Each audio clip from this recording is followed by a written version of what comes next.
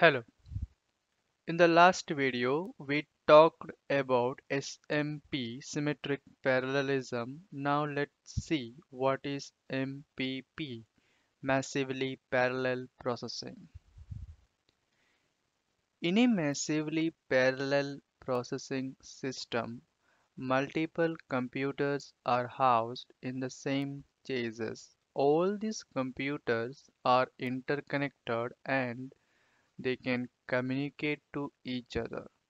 Unlike SMP system in which multiple CPUs share a common memory disk space and I/O, in MPP system each computer has its own memory disk space and I/O. Also, each computer has its own operating system. Hence, MPP system is also called as loosely coupled or shared nothing system. However, all the computers in the MPP system make use of one common file system so that program files can be installed in a single place instead of installing the programs in individual computers in the system.